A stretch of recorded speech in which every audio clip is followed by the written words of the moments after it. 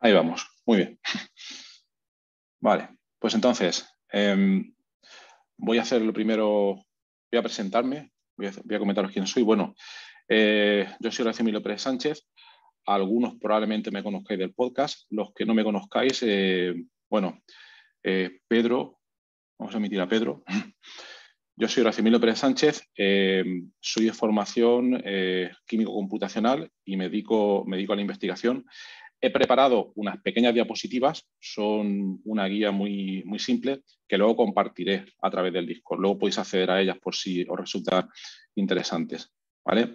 Aquí he puesto un enlace sobre un poco de información sobre mí mismo. ¿vale? Entonces, simplemente comentar, yo me, dedico, soy investigador, me dedico a la química computacional y también soy profesor de universidad, actualmente en la Universidad Católica de Murcia y, y, bueno, ese es mi trabajo principal eh, tengo ya 20 años de experiencia en este trabajo, he liderado varios proyectos de investigación, publicado cerca de 200 artículos y bueno, pero hoy, hoy no voy a hablar pues, de eso. Hoy voy, a hablar de em, una formación, una idea. Os voy a comentar un poco cómo surgió, cómo surgió todo esto.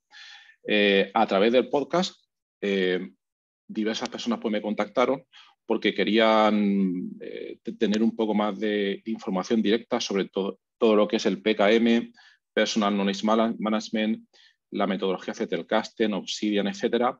Y entonces, algo que yo había comenzado a utilizar por mi propio interés, para, mi propio trabajo, eh, creación de artículos, eh, todo mi trabajo, etcétera, vi que era algo pues, que suscitaba pues, bastante interés. Y entonces comencé a dar algunos cursos, eh, algunas formaciones individuales para la herramienta. Algunas personas pues, me contactaron y, bueno, y he trabajado con ellas eh, y ahora lo que he decidido es, bueno, pues dar un paso un poco más adelante y ver si hacer, un, hacer una formación inicial para gente que no ha trabajado mucho con estas herramientas para ver si les pudiera interesar. Entonces, ese es mi objetivo, mi objetivo hoy. Es dar un webinar eh, totalmente introductorio para gente que, no tiene mucha experiencia y ver eh, qué puntos podían ser de, interés especial, qué puntos pensáis que pudiera ser interesante profundizar más adelante o qué puntos nos quedan claros, eh, etcétera, etcétera, porque me gustaría mm, hacer una formación un poco más, más avanzada. Quizás un curso, quizás una membresía, de momento pues no lo sé, pero de momento lo hago porque, porque me gusta hacerlo y de momento por compartir toda esta información en, en abierto. Entonces, me interesaría pues, validar esas ideas iniciales eh, yo pienso que es, una metodología bastante interesante, pero quiero ver un poco pues, de los que os habéis conectado hoy, ver qué cosas pues, os, podría, os puede interesar. ¿no? Entonces, eso, eh, como he tratado de, informar, es un webinar introductorio. Los que ya llevéis algún tiempo eh, utilizando por la herramienta, veréis cosas bastante obvias, otros no, pero yo quiero empezar un poco, un poco desde cero. Entonces, yo creo que hoy, con unos 60 minutos, tenemos más que de sobra, porque si no es un poco, es un poco sobrecarga y, sobre todo hacer hincapié que paradme en cualquier momento. Yo estoy acostumbrado a dar, clases en universidad, pero a veces es un poco, es un poco rollo porque los alumnos eh, jóvenes, lo digo con todo el respeto, los alumnos muy jóvenes no suelen preguntar nada, pero yo quiero que esto sea un poco al revés, que me paréis en cualquier momento y si os puedo resolver dudas, pues la, la resolveré, ¿vale? Entonces, en cualquier momento, cortarme, preguntarme cualquier cosa, ¿vale? Entonces, este sería em, el contenido o pues volcar hoy. Introducir un poco lo que es PKM, eh, Zettelkasten, esta va a ser por la parte principal pues, de, este, de este webinar. Cómo instalar Obsidian, una configuración, algunos ejemplos de uso bastante, bastante básicos. Entonces, en, primer lugar, no sé si alguno de vosotros habéis escuchado ya lo que es el... Estamos un poco en la era de la eh, gestión personal de la información. Tenemos todos, todos los que nos dedicamos eh, al trabajo del conocimiento. Eh, bueno, yo soy profesor de universidad, soy investigador. Es algo que me repercute directamente pues, en el día a día. Pero bueno, no es necesario porque en el día de hoy, con tanta sobrecarga de información, nos conviene, nos beneficia aprender diversas maneras para poder gestionar todas estas informaciones de manera adecuada. Entonces, eh, está surgiendo últimamente todas estas, estas tres siglas PKM, Management, o lo que llamaríamos como gestión personal del conocimiento. ¿En qué consiste todo esto? Pues básicamente mm, no es que haya ninguna definición formal y estricta, pero consiste en aprender nuevas técnicas para poder eh, ser pues, más eficientes a la hora de manejar información. Eh, no sé si os sonará la metodología GTD. La metodología GTD, Getting Things Done, es un intento para poder gestionar, lo digo de manera bastante breve, para poder gestionar tareas, etcétera. Pues aquí nos vamos a la gestión personal de, pues, de la información. Bien, entonces hay muchos métodos que están, que están, digamos, resurgiendo a día de hoy. Estamos en 2022. En los últimos cuatro o cinco años es un movimiento que está teniendo bastante auge y eh, hay diversas metodologías, pero yo me voy a centrar en, en una de ellas, que es la metodología Zettelkasten. Zettelkasten es un término alemán, eh, no, no, es que se pueda decir que alguien tenga el copyright que haya descubierto esta técnica, pero este señor que vemos en pantalla, eh, Niklas Luhmann, en los años 70 es un profesor e investigador, o mejor dicho, fue, perdón, de, de sociología de la Universidad de Bielefeld, Bielefeld en Alemania, eh, digamos que fue el que, el que demostró la, potencia de esta técnica, porque las ideas principales ya se, ya se habían practicado un poco, un poco en el pasado. Pero este señor eh, eh, implementó a través de fichas de cartón la metodología Zettelkasten y bueno, consiguió una cantidad de cerca de 90.000 fichas con las cuales les pudo generar cerca de 70 libros dentro del área de, la sociología y cerca de 400 artículos académicos. Parece ser, esto ya parece que da a entender de partida que puede ser una técnica, una metodología interesante, ¿no? Cuanto, cuanto menos. Bien, mi objetivo hoy es ir, es un, poco, es ir un poco a la práctica y centrarnos en el uso de, de Obsidian. Entonces no me voy a extender en explicar lo que es Zettelkasten porque puede dar para, para mucho, puede dar para mucho, muchas sesiones y, y muchas horas. En previas formaciones eh, he dedicado dos o tres horas a explicarlo más en detalle, pero hoy quiero ir directamente a, a, lo que es Obsidian. Entonces, para los que no hayáis visto nada de Zettelkasten, voy a hacer una, una simplificación extrema sobre lo que trata esta metodología. ¿eh? Y, tomarlo con cuidado porque es una simplificación bastante, bastante grande, pero yo creo que a nivel introductorio está bien porque así se verían pues, las ideas principales. Entonces, eh, bien, aquí algunos de los puntos principales. El primero sería que eh, hay una ausencia total de categorías. Es decir, en otros sistemas de clasificación de información Mm, en el que solemos utilizar en nuestros ordenadores, dividimos toda la información en carpetas o en categorías, de las cuales a, su vez pues, eh, cuelgan diversas otras carpetas, etcétera, etcétera, así hasta el infinito. Entonces, este sistema utiliza una clasificación de información que es un poco, un poco diferente y que voy a tratar de explicar aquí basándome en esta, en esta figura que podéis encontrar directamente en la Wikipedia. La idea básica sería que eh, nosotros volcamos la información que nos interesa, la información que tenemos que trabajar, notas individuales. Notas individuales. Esas notas se pueden implementar tanto en, tarjetas de cartón, como hacía este señor Niklas Luhmann, o en la versión digital, que es la que vamos a tratar hoy, que simplemente serían eh, pues, ficheros de, pues, de ordenador. Mm. Eh, también comentar que todo Telcasten, la versión digital, que es la que vamos a ver hoy, eh, hay una gran cantidad de software a día de hoy que permite implementarla. Eh, vamos a ver Obsidian, pero también está ROM Research, está Craft. Hay muchos programas que permiten hacerlo de manera maravillosa, pero yo me voy a centrar en Obsidian y luego os comentaré por qué. Pero bueno, podéis hacerlo de muchas múltiples maneras. Hay otras personas que incluso lo han implementado en Microsoft OneNote. Hay muchas maneras de poder hacerlo. Pero bueno, eh, entonces el primer punto sería, vamos a ver la versión digital cada, cada mm, parte en una nota, como podemos ver aquí. Y lo más importante sería que eh, nosotros es nuestra responsabilidad, eh, por eso se llama eh, gestión personal del conocimiento y subrayar ese personal porque es nuestra responsabilidad el, que este sistema funcione bien. es función personal nuestra el que nosotros creemos enlaces entre diversas notas. Como podéis ver aquí, por ejemplo, cada una de estas tarjetas o notas digitales están unidos por estas especies de flechas eh, de color rojo. Entonces, el primer, una de las primeras características, o mejor dicho, segunda característica, sería el establecer hiperenlaces entre todas esas notas. Enlaces que obviamente tengan, tengan, sentidos, tengan sentido. Ahora, cuando lo implementemos con Obsidian, veremos pues, algunos, algunos pequeños ejemplos prácticos. Pero eh, gran importancia a la hora de establecer enlaces entre todos los elementos de nuestro Zettelkasten. Otra característica sería, esta probablemente os suene más, eh, utilizar etiquetas, que esta probablemente os suene de muchos otros, de muchos otros programas, pero si por ejemplo tenemos eh, una, colección, una colección de mil notas y 20 notas se refieren al, trabajo, pues podemos ponerle una etiqueta que sea trabajo para poder agruparlas o, digamos, eh, encontrarlas pues, de, manera, de manera más fácil. Y luego otra, otra idea que se utiliza serían eh, los mapas de conceptos. ¿Qué sería un mapa de concepto? Eh, sería una nota que tiene una duración normalmente temporal y que a su vez clasifica parte de todas esas notas que tenemos en nuestro Zettelkasten.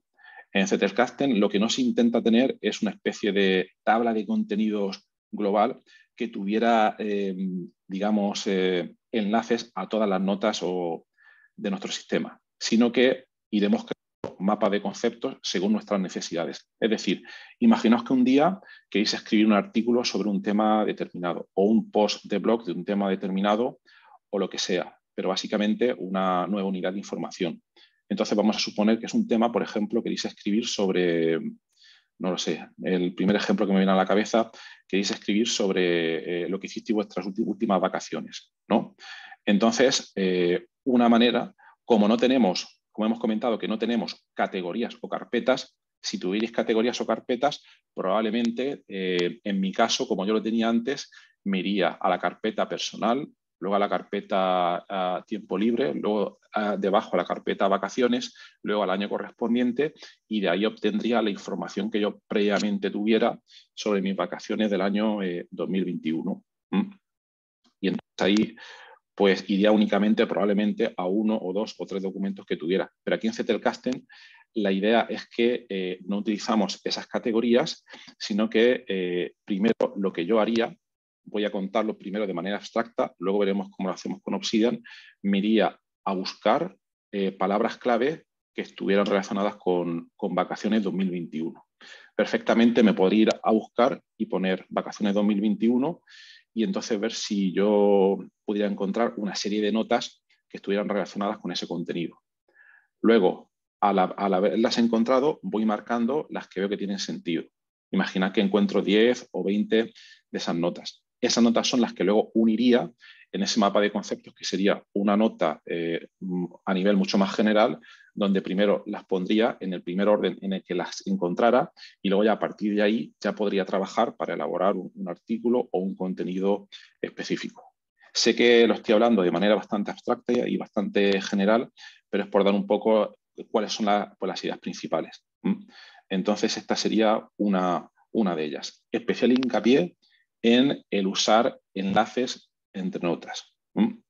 Bien, no sé si hasta aquí queréis comentar algo, no sé, alguna duda que tengáis, eh, dar algo. Eh, lo de los mapas de concepto es de los MOOC que hablan por ahí de. Sí, correcto. Es esto, eh, ¿no? Ah, vale, vale. Es que nunca entiendo que sí. Supongo que sí. claro, aquí lo he puesto en español. En inglés sería concept, MMOC, sí, efectivamente. Efectivamente, porque claro, toda la normalmente la gran mayoría de información que vemos por ahí está en inglés, pero claro, aquí tendríamos etiquetas, tags, concepts, y bueno, estos serían, sí, efectivamente. Sí, ¿algo más? De la tarjetita esa del dibujo se puede observar que, que podrían tener múltiples tags, ¿no? Efectivamente. sí. Y específicamente, ¿a qué estarían referidos los tags? ¿Al contenido? Eso, eso es una muy buena pregunta y una pregunta muy profunda, muy profunda, porque se puede, se puede utilizar de muchas maneras. Eh, la metodología Zettelkasten, primero, no hay ningún libro definido, no hay ninguna Biblia aunque ahora comentaré sobre eso, que se diga, Zettelkasten es esto, regla número uno, regla número dos, regla número tres, sino que hay una serie de indicaciones que, por ejemplo, este señor Niklas Luhmann nunca dejó totalmente claro, pero bueno, que mucha gente ha visto en la práctica eh, cuáles son las opciones que mejor y, peor funcionan, ¿no? Pero básicamente, eh, ahí eh, la regla principal es lo que mejor te funciona a ti. Es una regla muy simple, pero yo esa es la que aplicaría. Me explico. Por ejemplo, yo puedo ir generando nuevas notas, puedo ir generando por nuevas notas y te voy a comentar las etiquetas que yo en mi caso utilizo para ver si sirve como, ejemplo. Bien, primero he de decir que a mí no me gusta el uso de etiquetas. No me gusta porque me parece forzar un poco a veces em, las cosas. Entonces yo las etiquetas que utilizo em, eh, serían las siguientes. Utilizo una etiqueta que se llama personal y luego otra etiqueta que se llama trabajo. ¿Vale? ¿Por qué? Porque luego a la hora, eh, yo utilizo Zettelkasten no solo para ah, gestionar la información, sino para gestionar tareas. Eso, eso, lo comentaría en otro momento y entonces por eso utilizo esas etiquetas. Ah, la etiqueta personal me daría em, todas las notas que yo quiero para mis proyectos personales tratar en algún momento, mientras que cuando estoy en el trabajo, cuando estoy en pues entonces listo todas aquellas etiquetas que tengo que procesar en ese momento. Y entonces, en ese momento, esa etiqueta, trabajo, pues me lista eh, e-, esas notas. Mi uso de etiqueta es muy minimalista eh, y se dividiría, básicamente, las que tengo son personal, trabajo y eh, pocas más. ¿vale? Pero eso ya, como te digo, depende del uso de cada uno. Otras personas prefieren utilizar varias porque están más acostumbrados a ello, pero aquí mm, no te puedo dar una respuesta, digamos, eh, en firme. Dependería pues, de tu uso. Pero eh, técnicamente, técnicamente todos los software, todos los programas, como puedes ver aquí, te permiten utilizar una o varias etiquetas. Por ejemplo, aquí podemos ver que, aquí podemos ver que la etiqueta 1, tag 1, es la que se ha utilizado para las notas 1, 2, 10 etcétera, etcétera. ¿Mm? Bueno, ¿alguna, ¿alguna cosilla más que queráis comentar?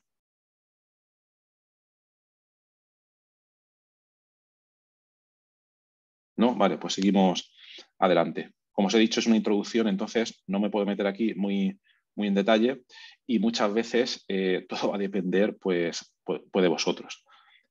Entonces, en relación a eso, en relación a eso, yo creo que el libro o el texto de referencia, digamos, más utilizado a día de hoy es este libro escrito por Senke Arens, que es con este libro, lo veis aquí, el método Zettelkasten, cómo tomar, eh, es una traducción, alemán, también trabaja en sociología, y este libro está bastante, bastante bien bastante, bastante bien. Eh, os da la interpretación que tiene este señor respecto a la técnica Zettelkasten.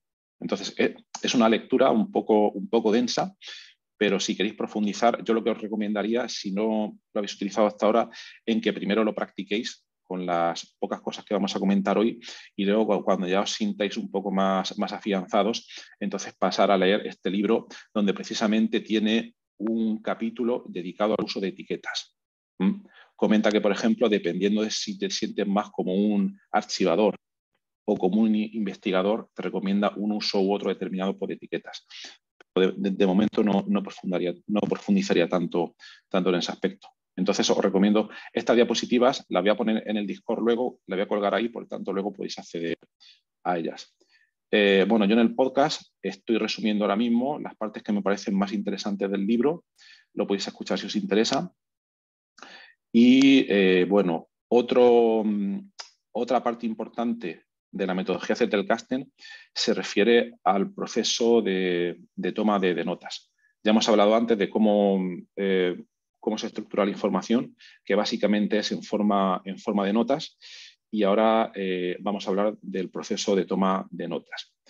Entonces, he intentado sintetizar de manera obviamente muy, muy resumida pero los puntos más importantes serían, eh, primero, a la hora de tomar notas, por ejemplo, podemos tomar notas dependiendo del proceso en el que nos encontremos, ya sea, por ejemplo, estamos leyendo un libro o un artículo o escuchando un podcast o viendo un vídeo en YouTube, lo que sea, eh, vamos tomando nuestras propias notas. Ese podría ser uno de los momentos. O simplemente eh, se nos ocurren ideas y queremos tomar notas de nuestras propias ideas. Pero si referimos al proceso de toma de notas eh, cuando estamos, digamos, procesando alguna fuente de información, como puede ser la lectura de un libro, entonces un punto clave es utilizar nuestro lenguaje propio. Este punto es importantísimo.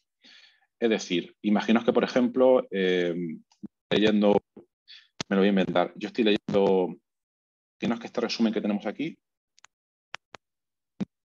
¿vale? Imaginaos que yo pues, podría realizar una nota con el resumen eh, de este libro. Entonces empezaría a leerlo y eh, digamos que subrayaría las partes que mm, me llamasen la atención. Vamos a suponer que esto me hubiese llamado esta frase.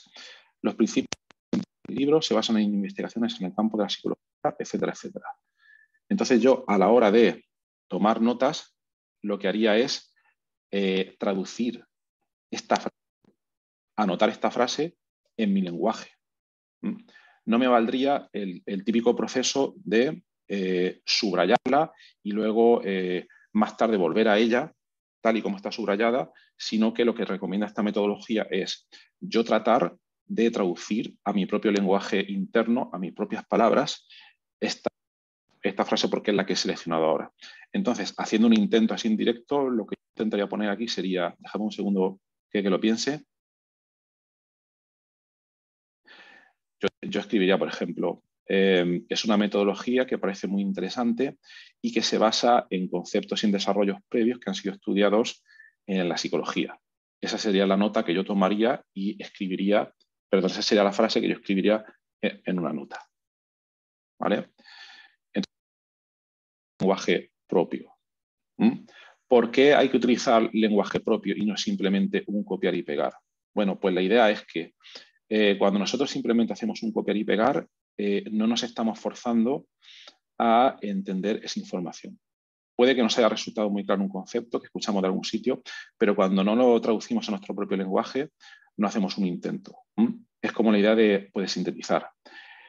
En más, en más, a veces, eh, supongo que, os habrá pasado, cuando estáis tomando notas, eh, os cuesta muchísimo, a, mí, a mí pues me pasa, expresar en nuestro lenguaje propio cuáles son esas notas de, pues, de un libro, cómo expresarlas. Eso es indicativo de que o bien no lo hemos entendido correctamente o de que nos falta algo. Entonces, eh, la metodología lo que recomienda es hacerlo con nuestro lenguaje propio.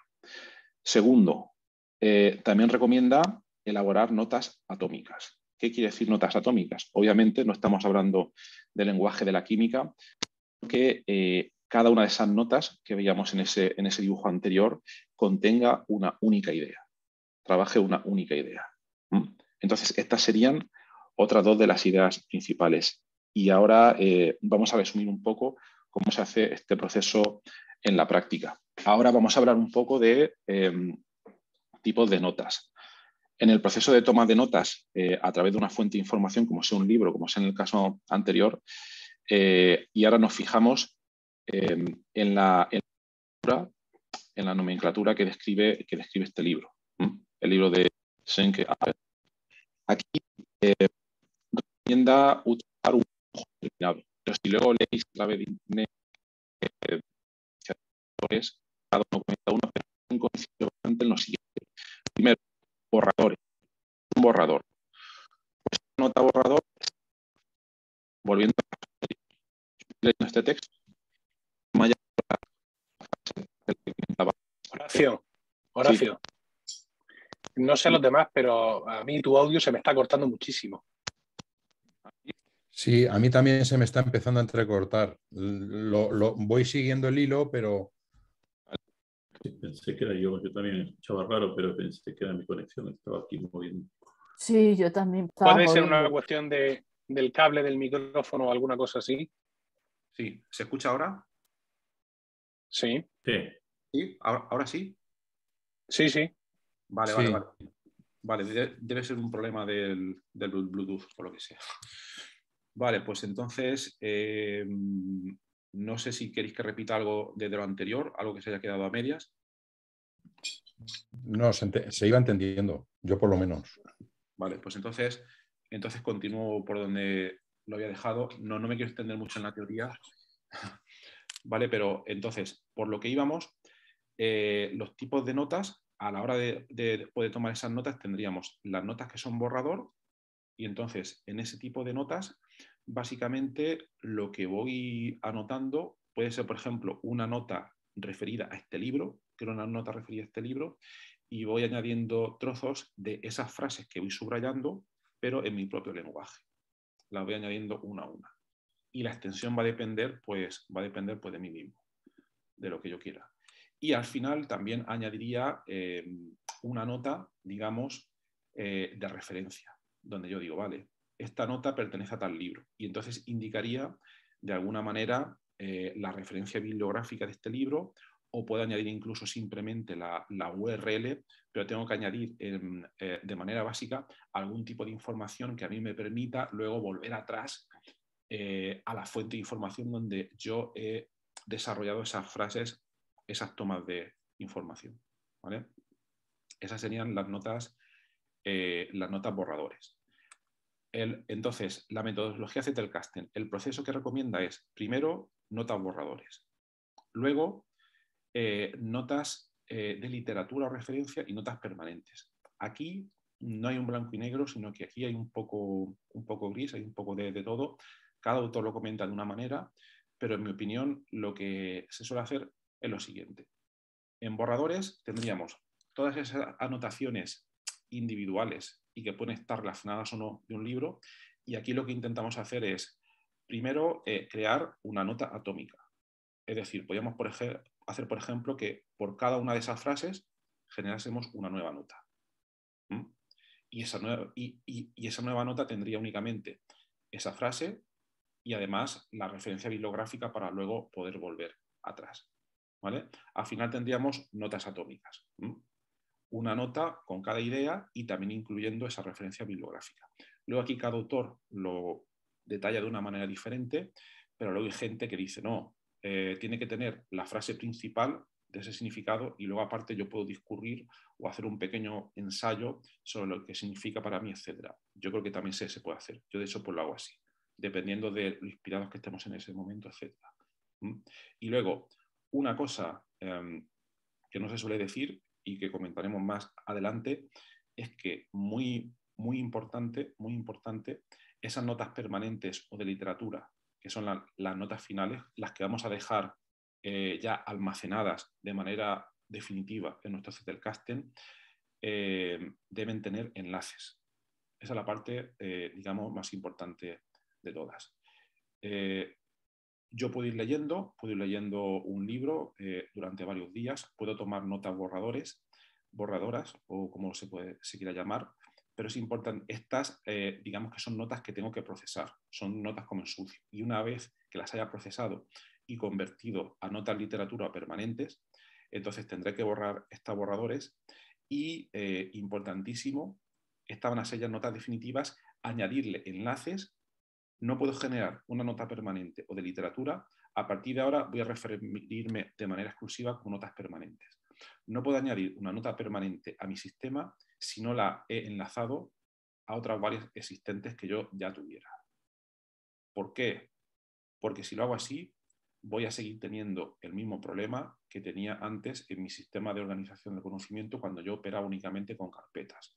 Porque el objetivo es poder encontrar conexiones con todo mi conocimiento previo. Entonces siempre tengo que intentar añadir enlaces. Enlaces también me vale etiquetas y también me vale mapas de conceptos. Entonces yo creo que hasta aquí esto sería todo lo referido a la introducción teórica, que creo que era un poco, un poco necesaria para ver un poco lo- los siguientes pasos. No sé, no sé si queréis comentar alguna cosa.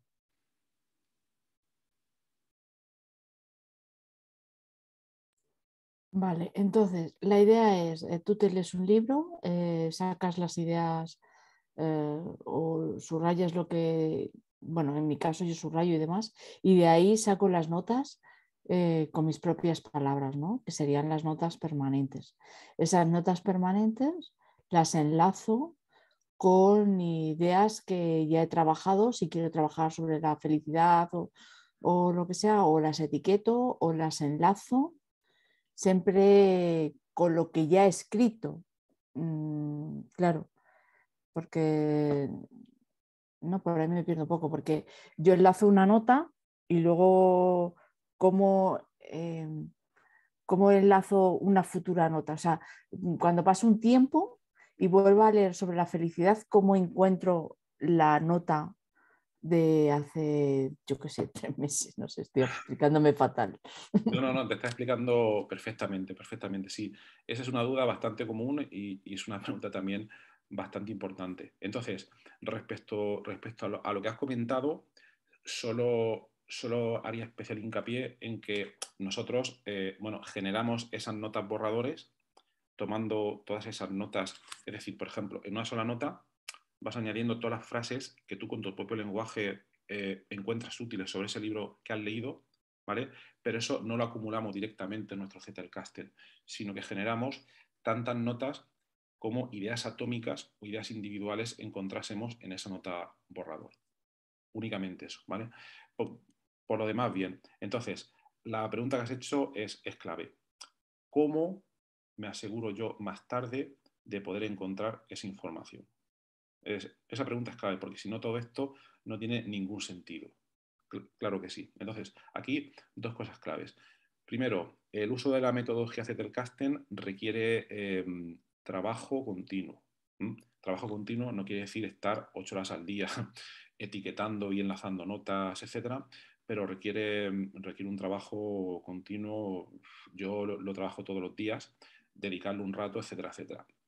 Luego, cada vez, si nos aseguramos de que cada vez que añadimos una nota nueva, la enlazamos a notas previas, estaremos asegurando que luego más tarde seamos capaces de encontrar esa, información. Pero, pero al caso, lo que vamos. Eh, tú imagínate que, eh, bueno, por otra parte, que se me había olvidado decirlo, em, cuando tú empiezas tu Zettelkasten desde cero, está vacío. Está vacío, no tienen ninguna nota, entonces al principio no tienen nada con lo que poder enlazar. Y eso es algo bastante, bastante normal. Entonces tendrá que pasar un poco de tiempo hasta que tú vayas, vayas añadiendo más y más, más y más información para poder ir enlazando cosas. Entonces, eso es normal. Tiene que pasar un poco de tiempo o el Zettelkasten tiene que, tener, digamos, una masa crítica para poder empezar a funcionar.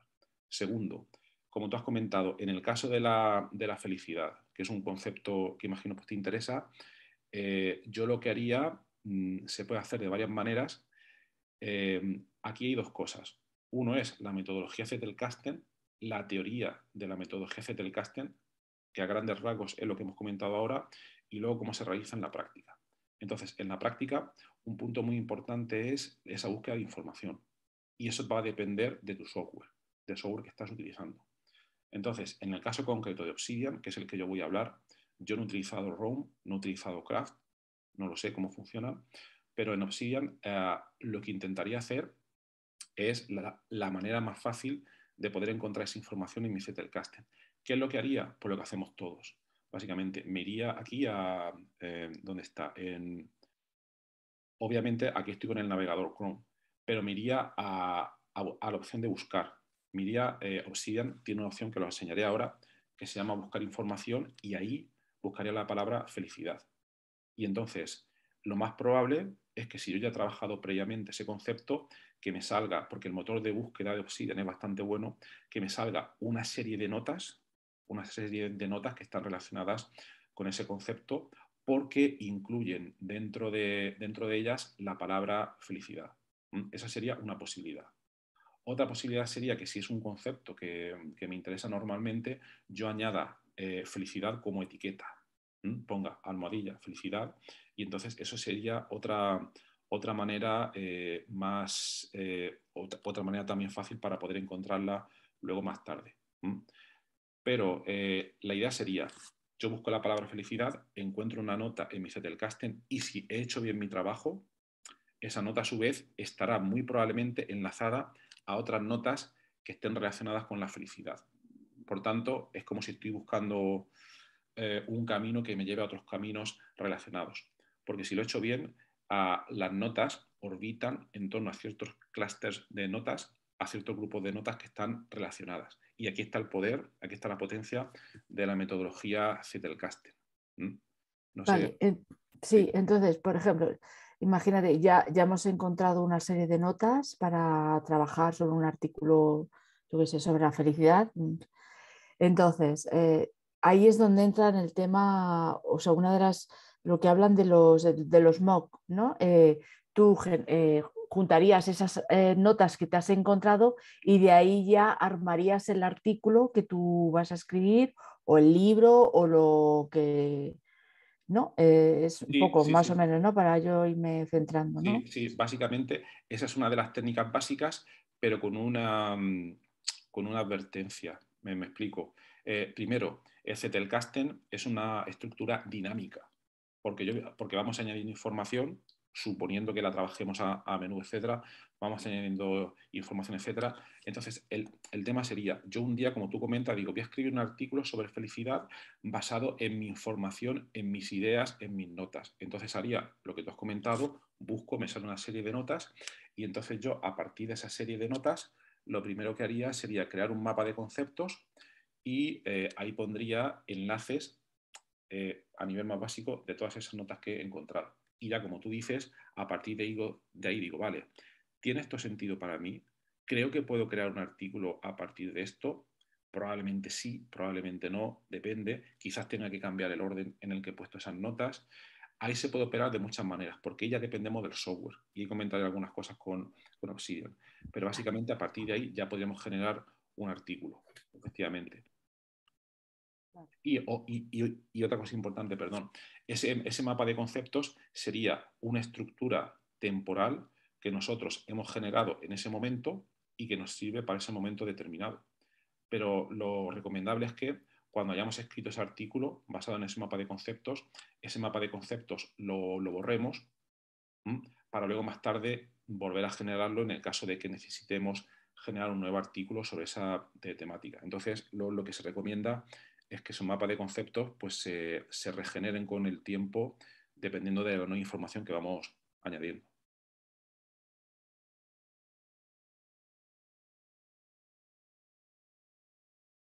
¿Algún comentario más? Y bueno, en relación a las notas, claro, eh, si le pone a las notas el adjetivo de atómicas, y a mí lo primero que se me viene a la cabeza es eh, el tamaño de la nota. Yo entiendo que atómicas es, eh, serán, se hará referencia a que será, las notas atómicas son notas sobre un tema o, o digamos son notas monotemáticas. Quiero decir, si por ejemplo yo quiero escribir una nota, pongamos por ejemplo eh, sobre el efecto Venturi, mm, describiéndolo, eh, y bueno, y estoy tomando como referencia un texto que le dedica seis párrafos, eh, para mí la nota atómica es mm, o sea, yo no, yo no despedazaría el epígrafe del, efecto Venturi en seis micronotas, sino que eh, me resulta más coherente hacer una nota hablando exclusivamente del efecto Venturi y luego pues enlazarla pues con, la, pues, con otros conceptos que se utilizan para desarrollar el, concepto, el, efecto Venturi, pues con la, mm, la, ley de la conservación de la masa, la ley del principio de conservación de la energía o, o la ecuación de Bernoulli, pero una nota atómica puede tener 500 palabras también, ¿no? Y seguir siendo atómica. Claro, claro. Pues claro, a mí, a mí la imagen mental que me aparece cuando se dice nota atómica, me aparece una imagen de una nota de tres líneas o de cinco líneas. Sí, efectivamente. Una nota puede ser atómica y tener 300 eh, palabras, ¿no? Efectivamente, esa, esa atómica, antes adelantado eso que estás comentando, esa nota es atómica para nosotros. Me explico. Eh, estamos hablando de gestión personal del conocimiento. No es el, el cómo clasifiquemos nosotros, o perdón, clasificar no es la palabra correcta. El cómo montemos nosotros nuestro Zettelkasten es algo válido para nosotros. Y el cómo estructuremos esas notas es algo únicamente válido para nosotros normalmente. Entonces, nota atómica en cuanto a que debe contener una única idea. Si para ti eh, el mencionar efecto Venturi ya es una idea para ti clara, pues entonces, perfecto. Yo, por ejemplo, por lo que hago es que en cada nota pongo una idea que, va a depender de mis intereses, de lo que quiero trabajar, etcétera, etcétera, pero con, una idea única y luego yo puedo desarrollar, como tú has comentado, si me interesa, digo, vale, em, imagínate yo, eh, has hablado antes de la ley de conservación de la energía. Yo podía hacer una, nota que se titulara em, Pongo en duda la ley de conservación de la energía según la mecánica cuántica, por ejemplo, me, lo puedo inventar. Y luego, eh, para mí, la idea sería esa. Esa, es la, idea. ¿vale? Y luego, si quiero, puedo desarrollar o añadir elucubraciones o pensamientos míos que me inspire esa idea y que no puedo ocupar tres párrafos, cuatro párrafos o cinco párrafos. Eso ya dependería pues, de mí. Para que yo luego más tarde, quizás seis meses más tarde, si vuelvo a encontrar esa nota, pues eh, que pueda ah, yo encontrar también toda la información que yo he asociado a esa idea. Pero la idea principal, la idea atómica sería, en tu caso, el efecto Venturi y en mi caso, por lo que, por lo que he comentado. Pero todo va a depender pues, de nosotros, todo va a depender de, lo que mejor se adecue a nosotros, pero debe ser una, única idea importante que es con la que vamos a trabajar nosotros. ¿Por qué, ¿Por qué tienen que ser ideas atómicas? Por lo siguiente. Primero, para tener eh, la mayor coherencia al intentar conectarlas entre sí. En tu caso, por ejemplo, imagínate, estoy intentando imaginarlo, a lo mejor cometo, algún error.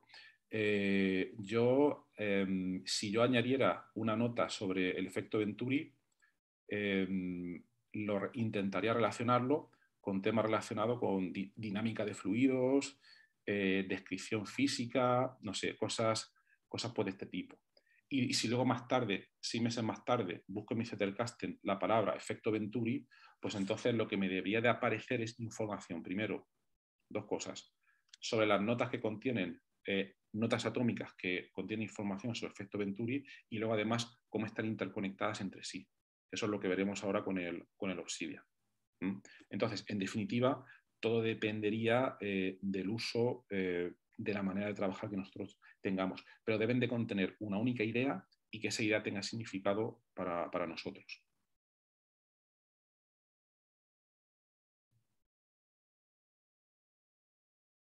¿Sí? ¿Algún comentario más? ¿No? Vale. Pues seguimos. Eh, la parte teórica puede dar para, mucho, como veis. pero, en definitiva, yo para no mm, saturarme, empezaría, mi consejo sería, con todo lo que hemos comentado aquí, empezar, empezar, empezar a trabajar ya. Bueno, falta, falta esta pequeña parte. Falta esta pequeña parte.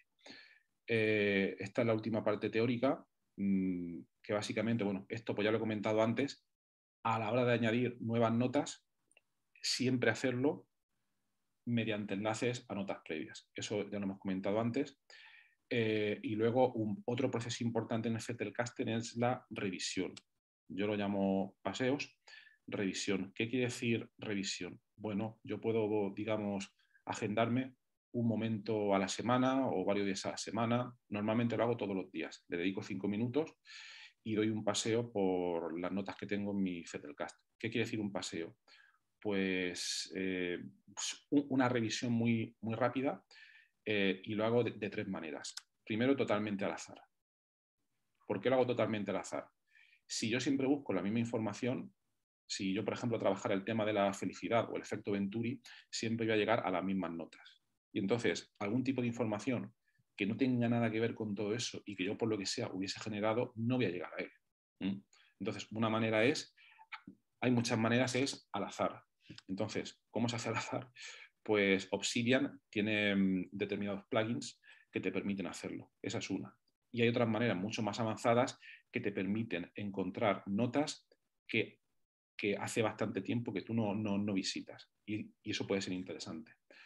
Em, otra idea para, revisar las notas es a partir de una semilla. ¿Qué quiere decir de una semilla?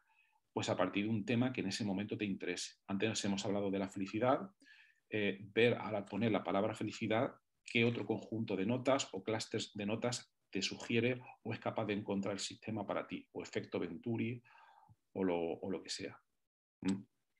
Otro sistema sería eh, mediante un paseo por enlaces. ¿Qué quiere decir un paseo mediante enlaces? Quiere decir, vale, volviendo al caso de la felicidad, yo encuentro una serie de notas eh, al buscar esa palabra y entonces me paro en una de ellas. Y a partir de ahí, lo que hago es ver cómo está conectada esa nota con todas sus notas vecinas y ver qué diferentes caminos puedo tomar en mi Zettelkasten y a dónde puedo llegar a partir pues, de ahí. Estas técnicas, que en apariencia son inofensivas, pueden ser muy potentes para ayudarnos luego a encontrar em, eh, lo que se llaman los momentos ajá o eh, relaciones inesperadas entre, entre, notas. Y aquí es donde está realmente el poder, eh, para mí al menos, el poder del, de Zettelkasten. Hay muchas técnicas diferentes que hay, muchas adicionales, diversos plugins. Yo estoy desarrollando alguno nuevo y que te permiten, eh, hay por ejemplo otro, que le dediqué un capítulo en el podcast, que se llama Viaje y que te permite lo, lo, siguiente. Imagínate, volviendo al tema de la felicidad, dices, vale, quiero encontrar en mi Zettelkasten cómo está unida la palabra felicidad con otra. Imagínate, no sé, voy a decirlo ahora mismo, felicidad con vacaciones, ¿no?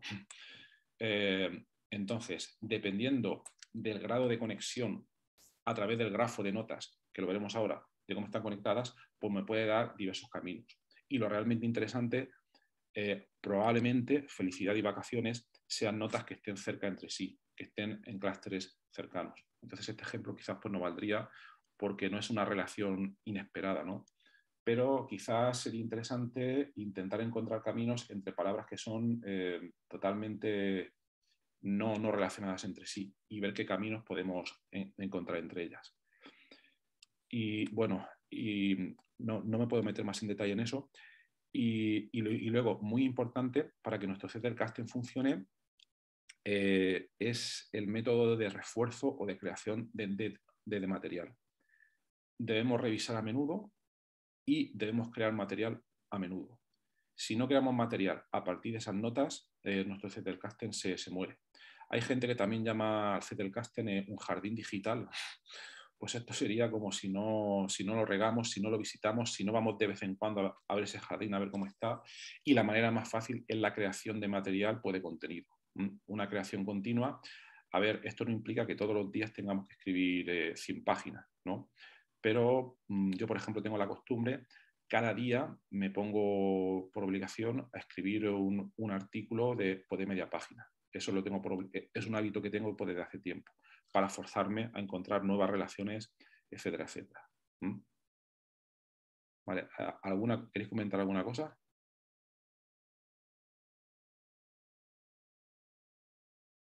No, bueno, creo, creo que es demasiada teoría. Es decir, que, yo entiendo que, tú vas, o sea, aquí se trata de ir acumulando material, eh, en, enlazar en el momento en que pones una nueva nota, tratar de enlazarla pero no es hasta que no tienes una cantidad determinada de material cuando a posteriori pues tienes que hacer lo que has comentado antes de utilizar el motor de búsqueda o de apoyarte en las etiquetas o incluso eh, previamente mm, a lo mejor pues hacer una especie de transición entre el sistema jerárquico de tarjetas y el sistema eh, conectado para más que nada para poder encontrar eh, las notas que has ido escribiendo. Claro, claro, efectivamente. Y, muchos días estas revisiones, pues de estas revisiones saldrán nuevas conexiones a diario. O sea que parte del trabajo es conectar lo que ya tienes. Sí. Me imagino. Sí, totalmente. Totalmente. Sí. Sí, efectivamente.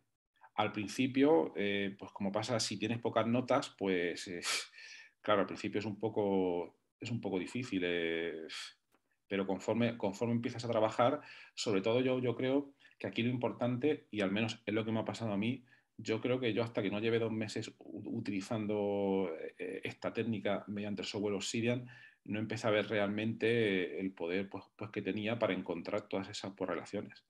Pero bueno, eh, básicamente, si uno crea material de manera continua y va añadiendo información y esto ya es un tema bastante personal, pero a mí lo que, lo que me ha llamado bastante por, por, atención, porque yo no estaba acostumbrado a hacerlo antes. Yo antes tenía, como os he comentado, mi sistema de carpetas eh, personal, eh, tiempo de ocio, vacaciones, 2021, y entonces cuando me metía en un subnivel 3 de carpetas, etcétera, y me ponía a ver la información que tenía ahí, no pensaba en relacionarla con muchas otras cosas que tuviera en todo mi sistema de, carpetas y, de información. Y, ahora pues sí que lo hago. Primero, eh, sí que lo hago, pero ¿por qué lo hago? Primero, porque he cogido la, la costumbre al leer sobre esta metodología casting y luego también porque el software Obsidian y supongo que también muchos otros como RAM Research y Craft te permiten hacerlo, porque están pensados precisamente para eso. Entonces, cuando te das cuenta de que esos momentos, ajá, vaya, no se me había ocurrido esto o lo otro, los puedes tener mediante esto, es, cuando dices, vale, merece la pena de que me pegue, como decimos en Murcia, la pija, de trabajar y revisar y reforzar para hacer todo este proceso, porque si no, no tendría sentido, si no, yo, me quedaría como estaba antes.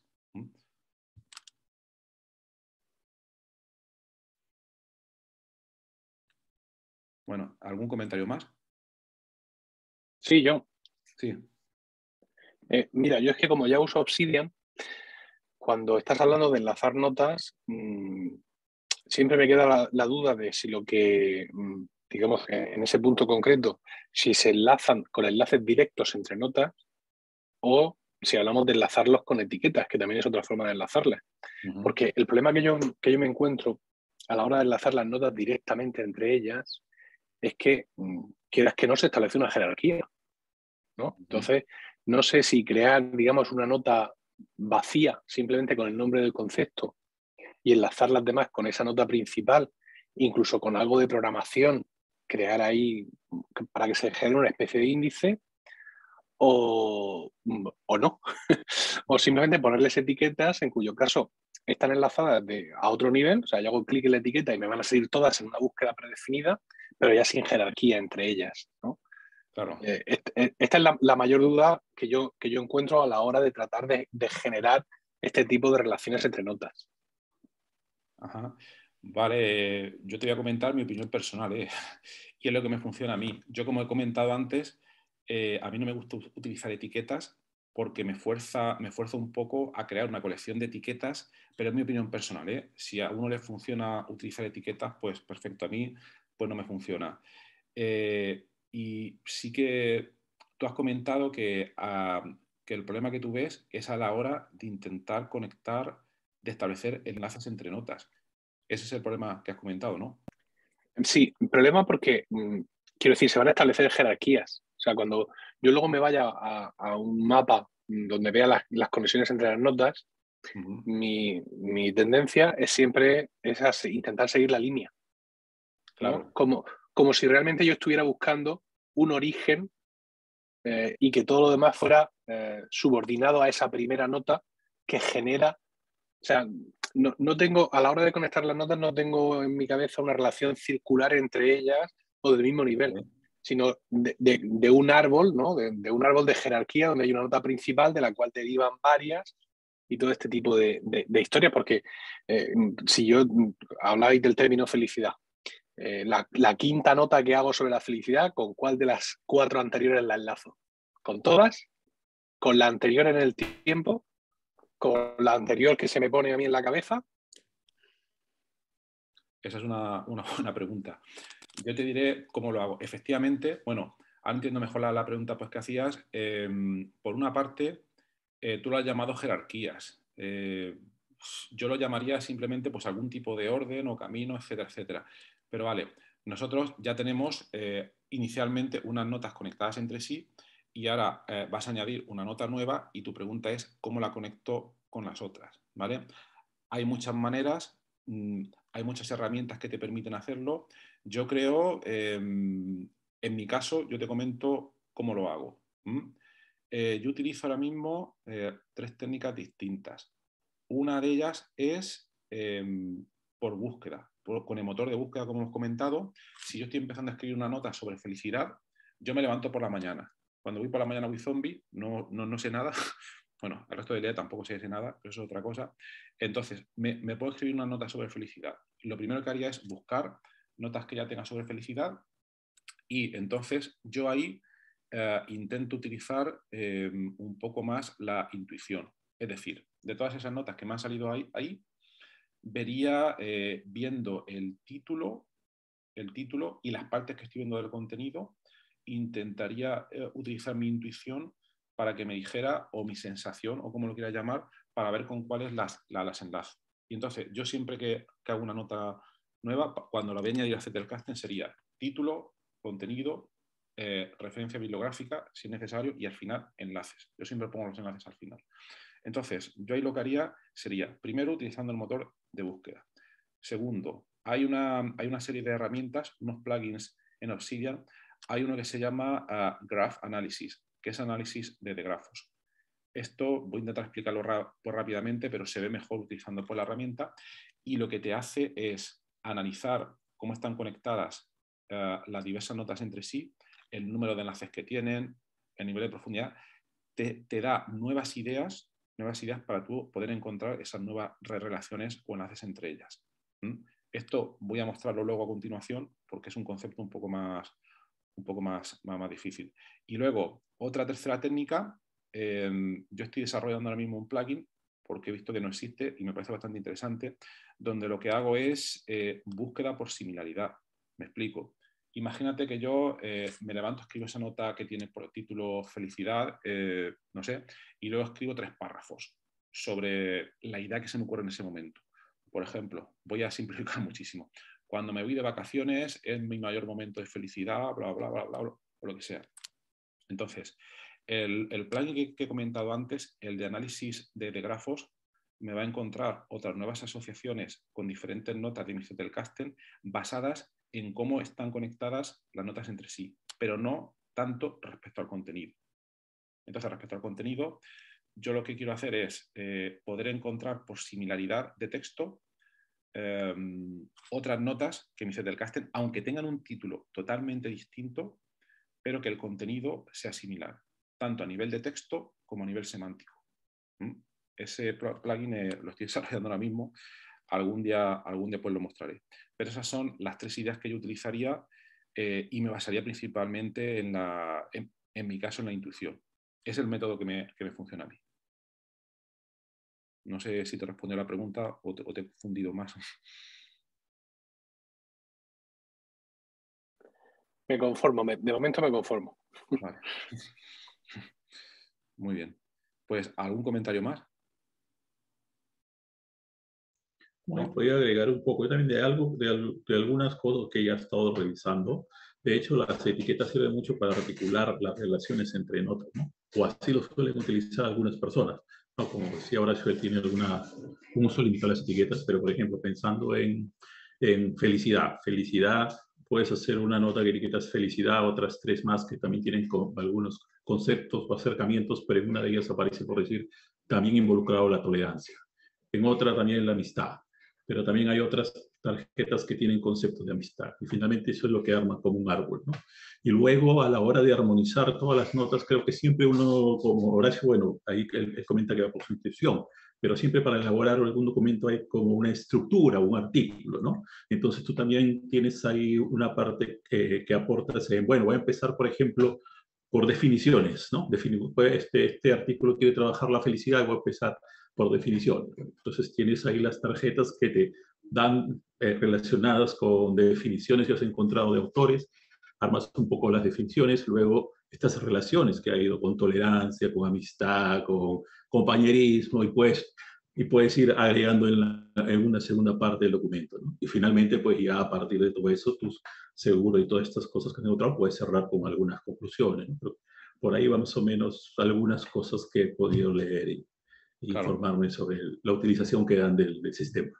Claro, claro, efectivamente. También sería otra manera perfectamente válida de poder trabajarlo. En definitiva, eh, aquí hay dos cosas.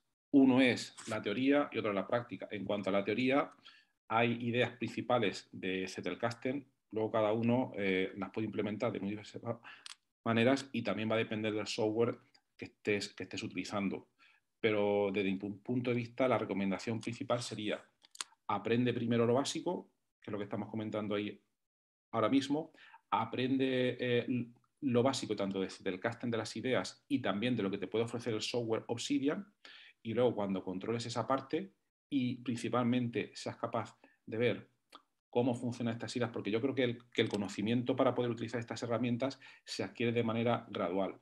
No se obtiene, eh, por ejemplo, si tú lees este libro, que está muy bien, pero terminas el libro, lo cierras y lo metes en la estantería, no te va a servir para nada. Hay que, practicarlo. Entonces, hay que practicarlo de manera constante y pienso que es importante partir desde la práctica más simple y luego verás viendo cómo conforme vas añadiendo nuevas notas y vas controlando más el software, se te ocurrirán ideas y aprenderás cosas por mucho más avanzadas. Pero es muy importante la práctica, importantísima, más que leer libros. Yo creo que con todo lo que hemos comentado aquí, hay de sobra para poder empezar a, utilizar el, software y que cada uno vea cómo mejor se adapta eh, a su manera, en mi, opinión. Pues, gente, em, ahora vendría la parte, la parte del uso de, Obsidian. Mi intención muy idealista era comentar la parte teórica hasta aquí en 10 minutos y se nos ha ido una hora. Entonces, eh, me queda por lo menos una, una, hora para explicar la parte práctica. Por tanto, preguntaros, eh, tenemos dos opciones. O dejamos esa segunda parte para otro día y ya nos coordinamos para ver cuándo, o lo hacemos ahora, como, como queráis. Yo de momento tengo, tengo energía para poder hacerlo, pero quizás un poco tarde, como queráis. No sé, no sé cómo lo veis. Yo me tengo que, me tengo que retirar.